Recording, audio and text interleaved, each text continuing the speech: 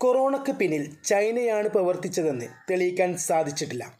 പക്ഷേ ചൈനയുടെ കഴികൾ ഉണ്ടാകാമെന്നതിന് ഒരുപാട് തെളിവുകളുണ്ട്. അതിന്റെ ഏറ്റവും ഒടുവിലത്തെ സംഭവമാണ് ഇപ്പോൾ പറയാൻ പോകുന്നത്.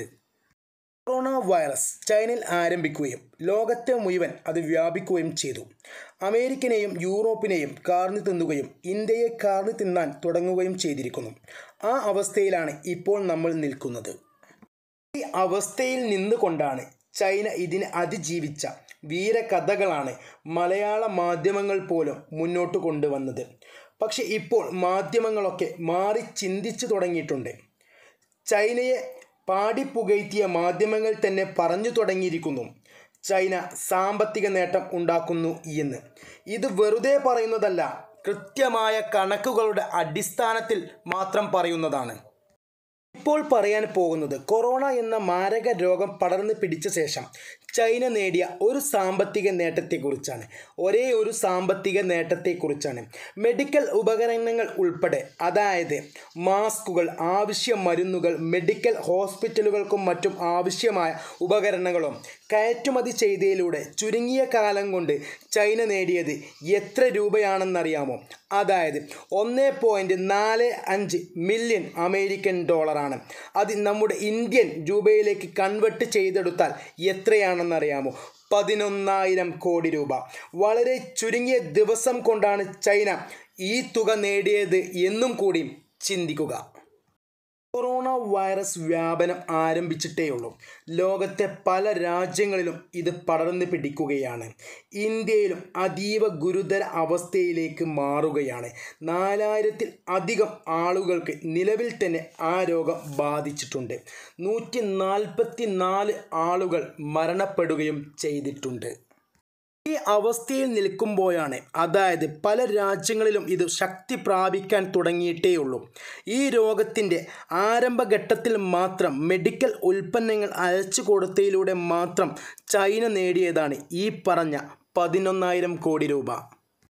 രാജ്യം കംപ്ലീറ്റായി ലോക്ക്ഡൗൺ ചെയ്യപ്പെടുമ്പോൾ ആ രാജ്യത്തിന്റെ നിർമ്മാണ മേഖലയും കൂടിയാണ് നിലക്കുന്നത്. അത്യാവശ്യ സാധനങ്ങളുടെ ആവശ്യം വരുമ്പോൾ അവിടെയും ചൈനയുടെ കൂർമ്മബുദ്ധി പ്രവർത്തിക്കും. ചൈനയിൽ ഇപ്പോൾ ഫാക്ടറികളിലും മറ്റും തകൃതിയായിട്ടാണ് ഉൽപ്പാദനം നടക്കുന്നത്. ഈ കാര്യങ്ങളൊക്കെ വിലയിരുത്തുമ്പോൾ കൊറോണയ്ക്ക് പിന്നിൽ ചൈനയുടെ കൈകളുണ്ട് എന്ന് തന്നെ പറയേണ്ടി വരും.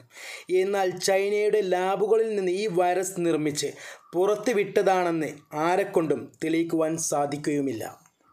പക്ഷെ നമ്മൾ ഇതിനൊക്കെ ആരോപിക്കുമ്പോൾ അതിന്റെ പിന്നിൽ ഇതുപോലുള്ള പല ഘടകങ്ങളും വിലയിരുത്തിക്കൊണ്ടാണ്.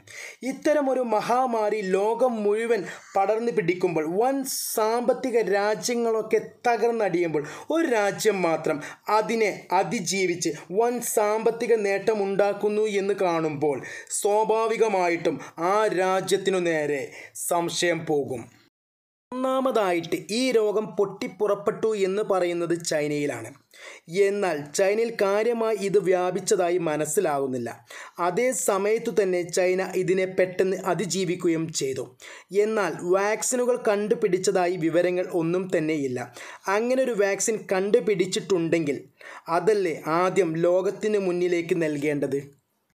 അഥവാ അത് കണ്ടുപിടിച്ചിട്ടുണ്ടെങ്കിൽ തന്നെ ചൈന അത് പുറത്തുവിടില്ല. കാരണം ലോകം മുഴുവൻ ഇത് പടർന്നു പിടിച്ച്.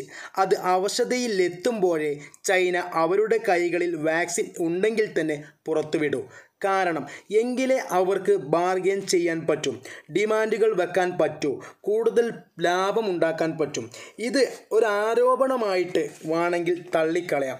പക്ഷെ ഇപ്പോൾ പറഞ്ഞ കണക്കുകൾ സത്യമാണ്. നിങ്ങൾക്ക് ഏത് മാധ്യമങ്ങളിൽ വേണമെങ്കിലും കയറി നോക്കാം. മലയാള മീഡിയകളടക്കം ഇത് റിപ്പോർട്ട് ചെയ്തിട്ടുണ്ട്.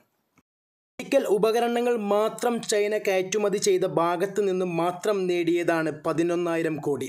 അതിന് പുറമെ ഈ ഒരു അവസ്ഥയിൽ യൂറോപ്യൻ രാജ്യങ്ങളടങ്ങുന്ന പല രാജ്യങ്ങൾക്കും ഏഷ്യൻ രാജ്യങ്ങളടങ്ങുന്ന പല രാജ്യങ്ങൾക്കും പല ആവശ്യ സാധനങ്ങളും ചൈന കയറ്റുമതി ചെയ്യുന്നുണ്ട്. അതിന്റെ കണക്കുകൾ വേറെ. അപ്പോൾ ഇതെല്ലാം കൃത്യമായ ഒരു സൂചനയിലേക്കാണ് കൊണ്ടുപോകുന്നത്. കൊറോണ വൈറസിന്റെ പിന്നിൽ വീണ്ടും വീണ്ടും ചൈനയാണെന്ന് സംശയിക്കേണ്ടിയിരിക്കുന്നു. വീണ്ടും സംശയിക്കേണ്ടിയിരിക്കുന്നു. നിങ്ങളുടെ വിലപ്പെട്ട അഭിപ്രായങ്ങൾ കമന്റ് ബോക്സിൽ രേഖപ്പെടുത്തുമല്ലോ. ഇതിനേക്കാൾ നല്ലൊരു വീഡിയോയുമായി നമുക്ക് വീണ്ടും കണ്ടുമുട്ടാം.